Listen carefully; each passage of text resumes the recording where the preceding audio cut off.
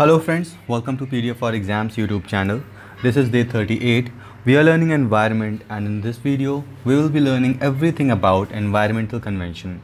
In last week I was not able to make videos due to some personal reason I was sick. That's why I was not able to continue the video but from now onwards I would try to make the videos on daily basis. Fine. So let's see what we are going to discuss in this video and what are the agendas of today's video. So as I said this video deals with environmental conventions and what are these environmental convention? We know everything about environment but this convention convention simply means a kind of treaty or agreement between two person two states two countries or any two or more. It, it's not necessary that the agreement needs to be between two member countries. It can be more than two three four five. So the number is not decided but it's just an agreement which is decided with certain member of countries or certain members on some common point. So over here since it is environmental convention. So the basic or the core point or the core subject of agreement would be environment. Everything related to the environment would be the core subject of these conventions. So there are several important conventions that we are going to study in this video which are very much important for your point exam point of view. Fine. So let's see the first agreement that we are going to study. So over here the first environmental convention is given. Agreement on conservation of african eurasian migratory water bird so by the name itself, see whatever the names are given, always names are given on the basis of their characteristics. In most of the cases, I'm not talking about not talking about the exceptional, but in most of the cases, the names are given as per the characteristics or some features are included in the name of the convention or any topic you are studying. So in the same case over here, it is an environmental convention for African Eurasian migratory birds or water birds you can say. So what do we mean by migratory? Migratory means moving from one place to another place and water birds are the birds which stay on or around a water body. The water body can be a lake, a wetland. So most probably over here the water body is called as wetland. The birds living on and around the wetland are considered as the migratory water bird and where they are present. So they are present between African countries and Eurasian countries or else you can say European countries. So if you see the world map, the African continent is somewhat like this and to the northeast side we have the Eurasian continent. So the migratory birds or the birds moving from these Africa to Eurasia or Eurasia or European countries to Africa. So this convention is all about uh, securing or conserving the migratory birds from in this region. Fine. So uh, we'll study in detail about this thing and what is given specially over this. So as we know very well that there are certain species which require good habitat for breeding as well as a network suitable for them to support. So as we have seen these, these are the migratory bird. Migratory bird means moving from one place to another place depending upon the environmental condition. See what happened in any continent environment or the climate is not same we are not talking about climate actually it's seasons seasons are not same throughout the year or else the temperature varies a lot and due to that temperature variation all kind of uh, these animals or species are not able to survive in that particular region.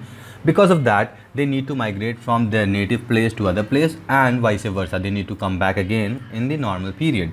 So this happens during migration period and a suitable network is required and for them a habitat is required where they can live they can reproduce.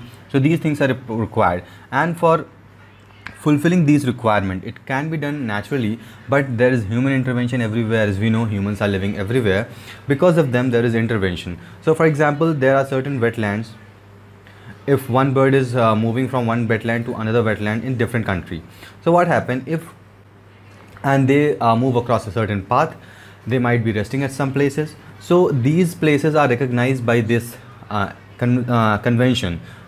And these uh, these path and these places are protected. Why they are protected? For example if a bird is moving from wetland 1 area to wetland 2 area okay they are moving in some season from this place to this place and they go through a path also. And due to human intervention if these there is an issue with this wetland or this wetland has been converted to normal land or the path through which they move on is also being converted to something else then there would be problem to these migratory birds. They won't be able to migrate from one place to another place. They way used to go and due to this there can be extinction of those species which move from one place to another place. So that's why conservation and important environment convention was required so that it can be internationally accepted and protected. These water birds can be protected. So for that very purpose this is the very first convention that we are going to study agreement on conservation of african eurasian migratory water birds. So let's see what is given over here so this is an intergovernmental treaty. So it's not that it's not any uh, private organization that has signed the treaty but it is an intergovernmental like the countries from Europe and the countries from Africa. And the government of these countries have signed this treaty. And why they have signed this treaty? To conserve the migratory water bird which I have been telling you till now. And where are these migratory birds present? So these are present across Africa Europe Middle East Central Asia Greenland and Canadian archipelago.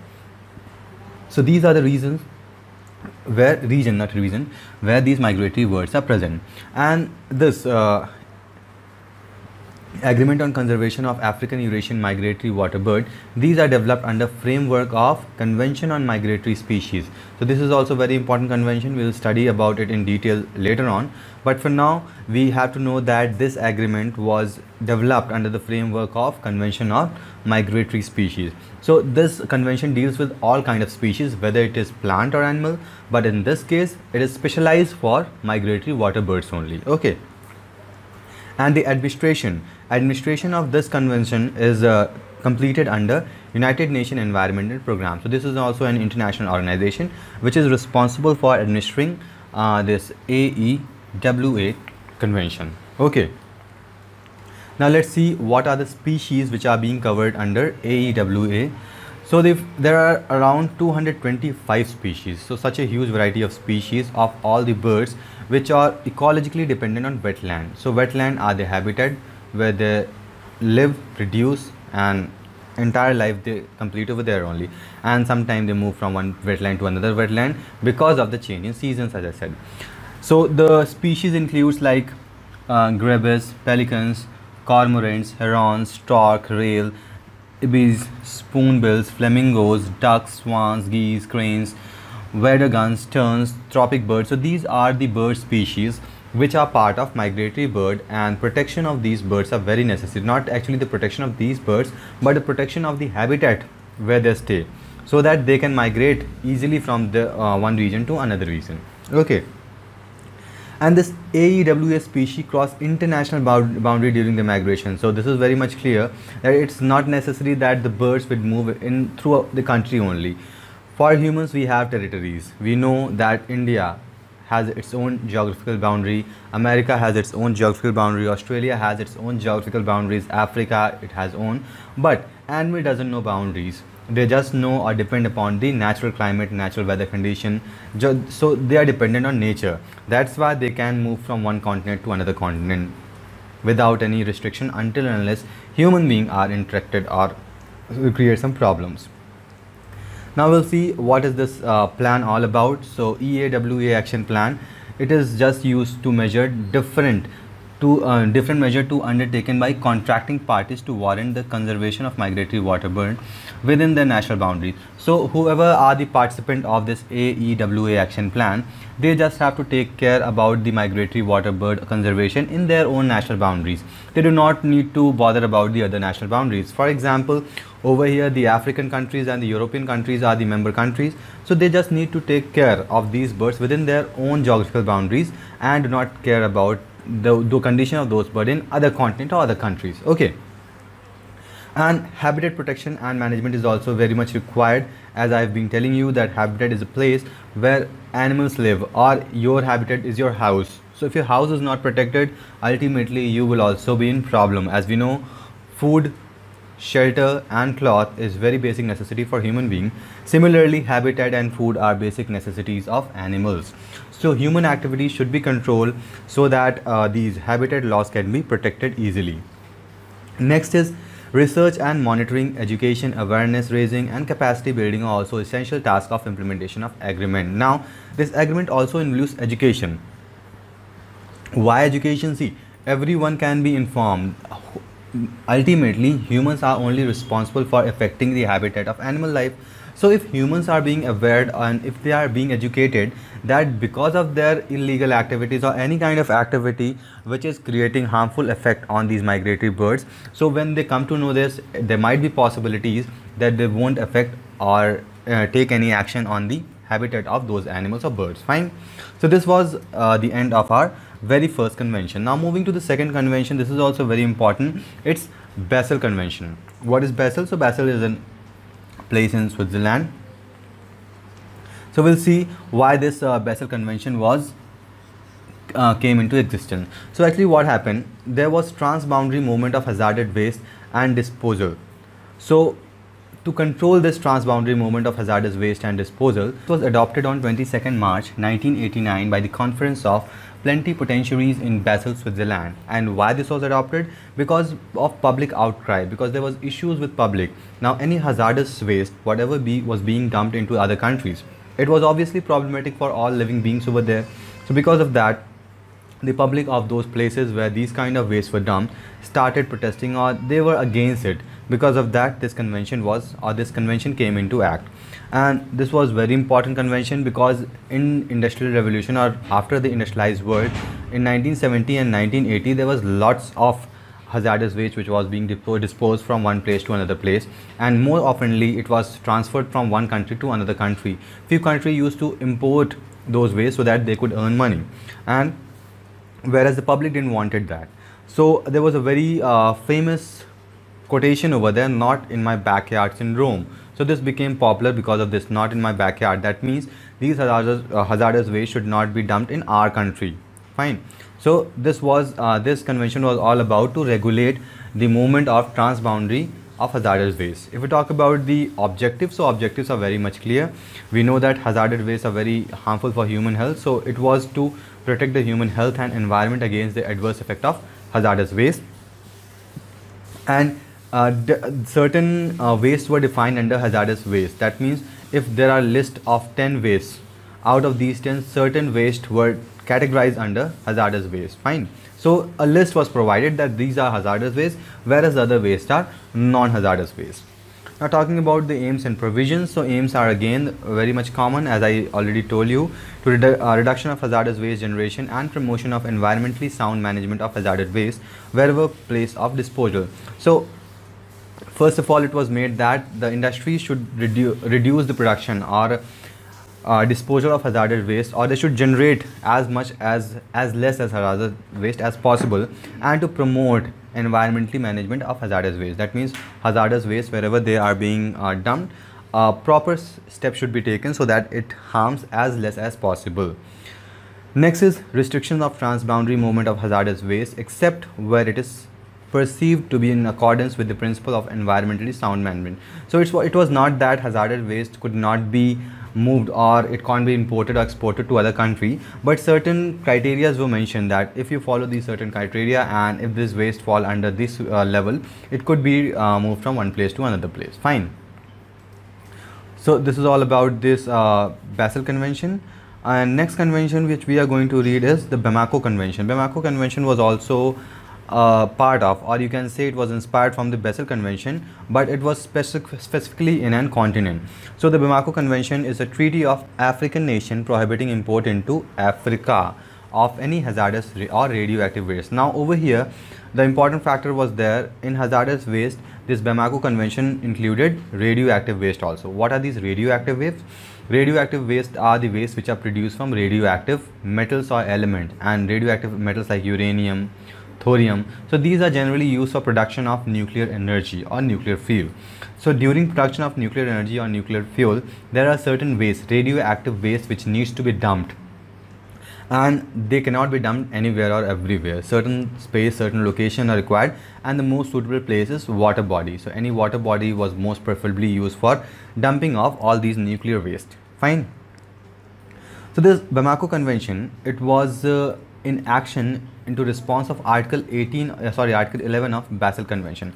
So in article 11 in basel convention it encouraged that there should be bilateral multilateral and regional agreement on hazardous waste to help to achieve objective of the convention. And what we saw in basel convention so the convention was all about to reduce or to protect the transboundary movement of all hazardous waste. But here it was that it can be bilateral multilateral or regional agreements. It's not necessary that it should be between one continent or one country. It could be between region also. If we talk about the uh, specificity over here, so Bamako Convention use format language similar to that of Basel Convention except that so there was certain exception which was different from Basel Convention so over here uh, much stronger in prohibiting all import of hazardous waste so in case of uh, Basel Convention it was not as strong as in case of this uh, Bamako Convention and in this there is no exception to any hazardous waste. Like all waste which are hazardous in nature would be counted as hazardous waste only. But in case of Basel Convention we saw certain relaxations were given but here it's not given. Fine. And in this convention a national definition of hazardous waste was also given. And we know the problem what, what happened to the problem? After uh, these issues were arrived there was certain problem now where to dump the waste? Now the country started finding a cheaper method where they can dump their hazardous waste and the money which were involved for dumping the waste could be reduced. So this so they started finding some european countries where they could dump their waste. Okay.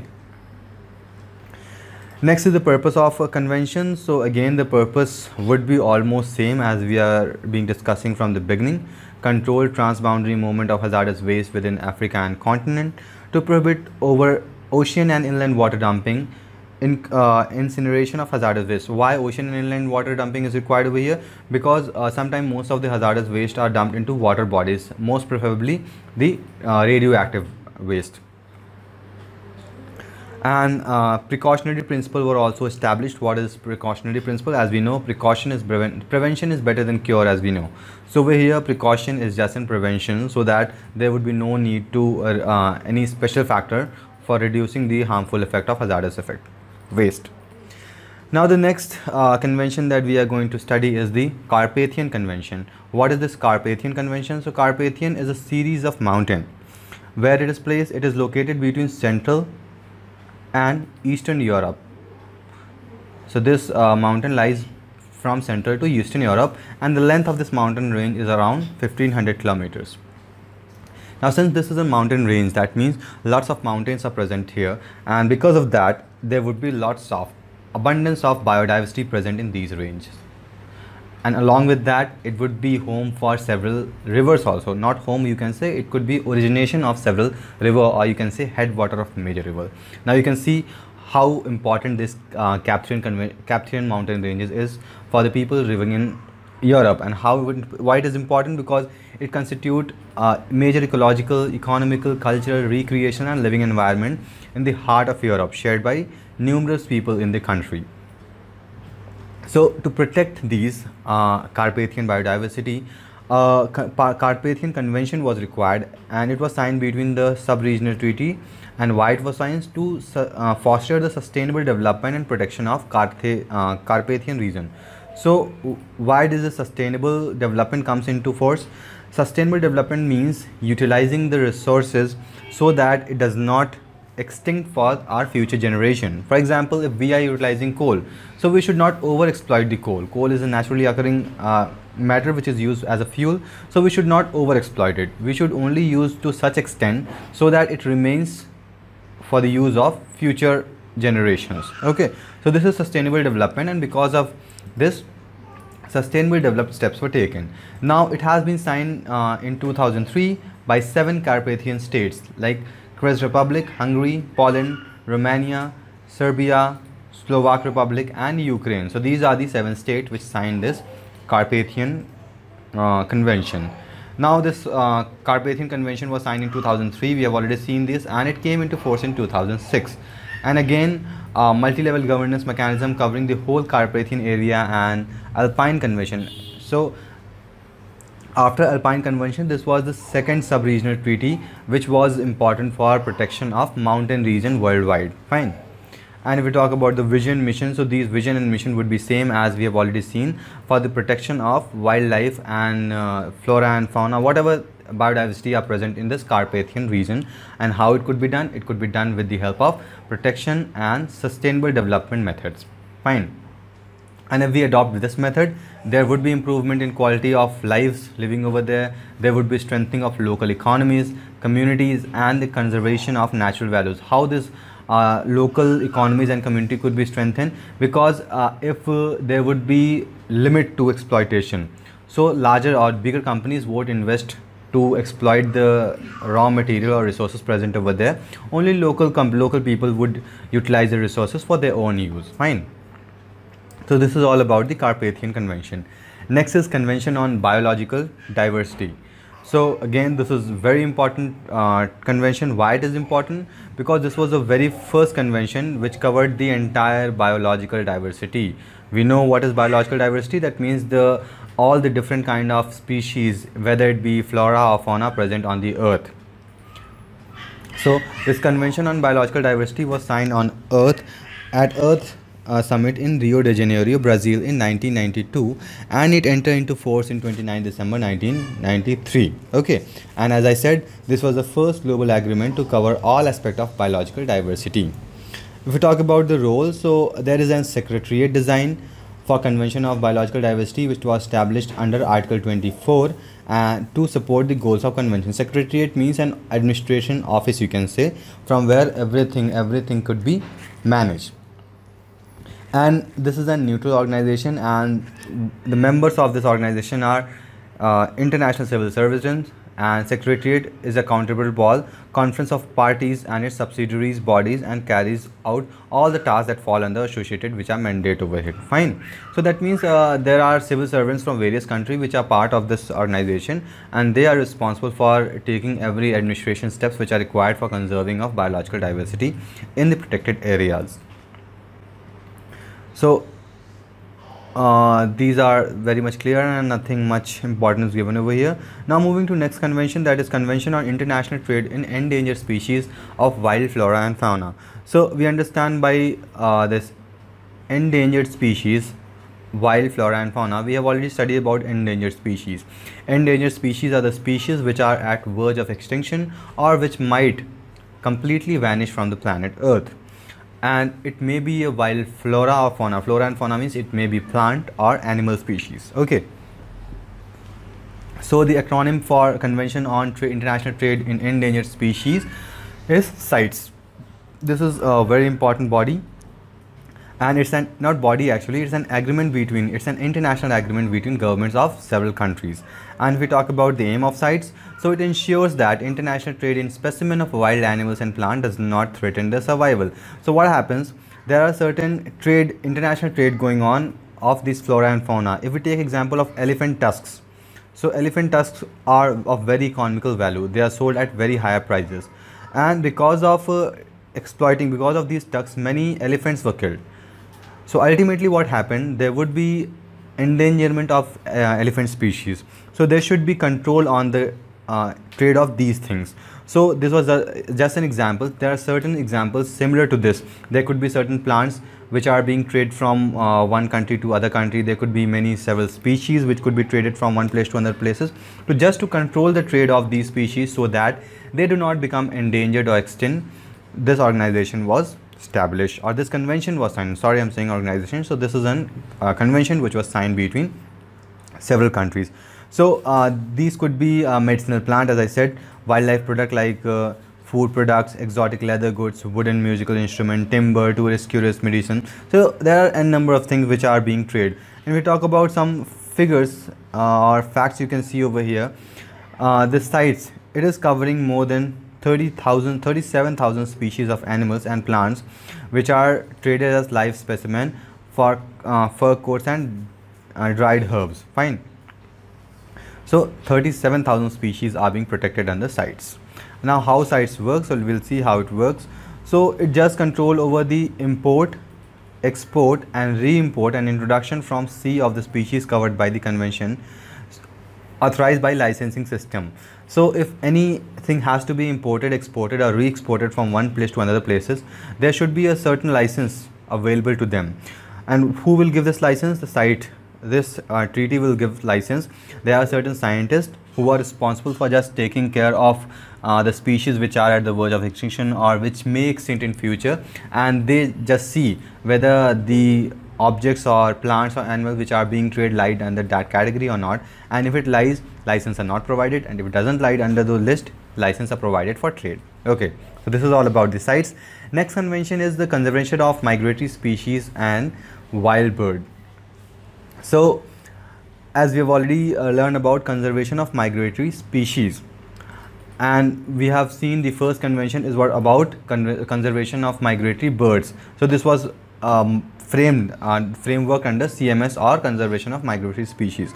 So conservation of migratory species is a global platform uh, for conservation and sustainable use of migratory animal and their habitat. So everything is same as you have studied in case of wild sorry the migratory birds. But here it is it deals with the wild animal. So again so there are certain animals which are being uh, which migrate from one place to another place. They have their own kind of habitat. They need different kind of uh, routes. So these things should be managed or maintained by the humans or the international bodies so that all the uh, these migratory birds and species could be protected. Animals in this case animals could be protected. Okay so there are certain lists which are being provided. So migratory species which are threatened, they are enlisted in Appendix 1 and migratory species that needs are significant benefits from international cooperation are listed in Appendix 2. Okay, and this agreement also ranges from legally binding treaty. Legally binding treaty means uh, there are certain treaties which bind certain uh, countries to not do trade or to not exploit the area or the region where these migrating bird or species reside if we talk about the structure so structure means the formation how this uh, this migratory convention uh, organization work. So it has conference of parties the cop this conference of party is a decision making body of the convention. Next is standing committee. Standing committee means the administrative guidance or the administrative body of this convention. And next is secretariat or scientific council. Scientific council is responsible for advising or telling the uh, which animals are migratory and why they need to be protected. And secretariat again is the uh, office or the infrastructure built for the running of this organization.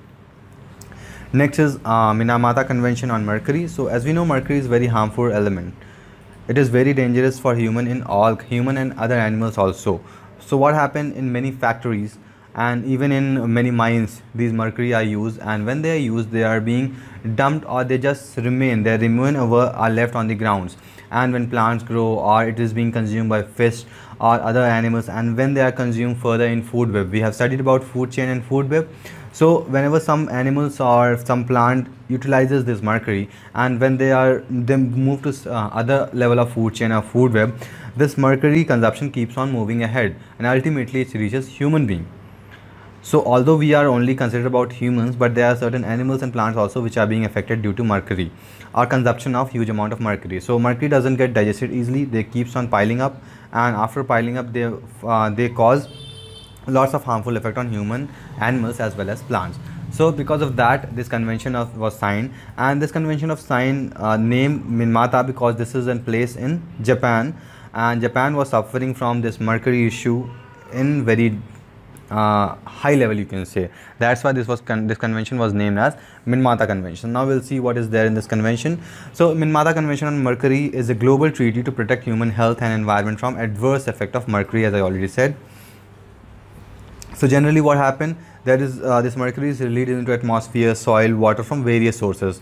And those sources can be industry mining and many things. So and controlling of these uh, release of mercury has to be managed properly so that uh, less or no one is affected by the release of these uh, mercury. Okay. Now why we needed uh, this uh, convention? So it's very clear. We needed this Minamata convention because uh, the consumption of mercury was giving very harmful effects to all kind of animal plants and uh, human species. Like uh, so uh, mercury was used in batteries, switches, lights, cosmetics, pesticide, measuring devices. So it just keeps on moving from one place to another place. Because of that, it was uh, uh becoming very harmful for every species present on the earth. That's why this Minamata Convention was required. Next convention is Rotterdam Convention. So Rotterdam Convention, just a minute. It is an international treaty designed to facilitate informed decision making by countries with regard to trade in hazardous chemicals. So it is just an treaty which facilitates the information, facilitates the information for trade in hazardous chemicals. So there are certain chemicals which are being traded from one country to another country. And sometimes what happens if one chemical is very harmful and are banned in one country let's take an example of countries a and b fine. So in a chemical x is being produced and after some time it is found that it is very dangerous and because of that it might be exported to some other country. Now according to this rotterdam convention country b will be informed or they these two countries have to follow this convention so that the import or export of this harmful chemical could be retained. So this country would b would be informed that chemical x sorry country B would be informed that chemical X is dangerous in nature whether you want to import or not import. Fine. So this is just to facilitate the information action so that harmful chemical cannot be uh, transported or traded from one country to another country. Okay. And if we talk about the chemicals which are being covered under uh, this Rotterdam Convention so these are the industrial chemicals pesticide that means the criteria list under country. So there are certain lists provided under li this list this industrial and pesticide are mentioned over there next convention is stockholm convention. So stockholm convention is also very important convention and it is a global treaty to protect human health and environment from persistent organic pollutants so there are certain organic pollutant which keeps on moving in food chain or food web and ultimately damage the organs of uh, human you can say or animals. How? So they just get accumulated in fatty tissue of living organism and since they are toxic it leads to death of certain humans or wildlife. So because of that stockholm convention was uh, signed and according to this convention uh, human and environment has to be protected from these organic pollutants which are present in all around the earth. Okay.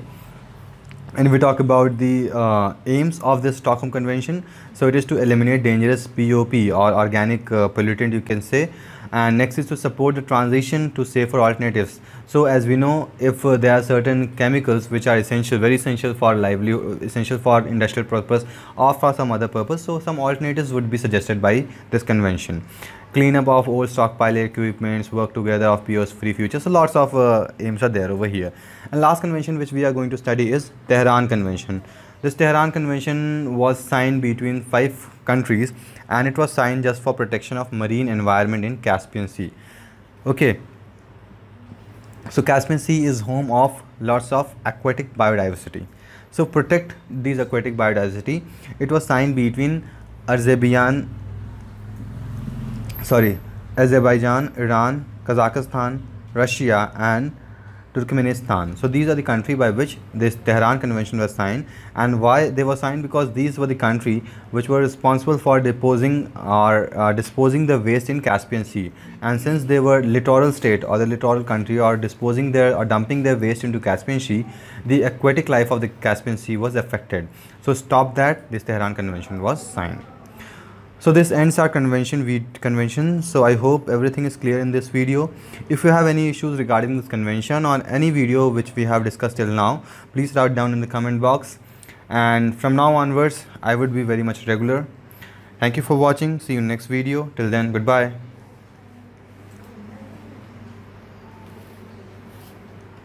पंखा चला दो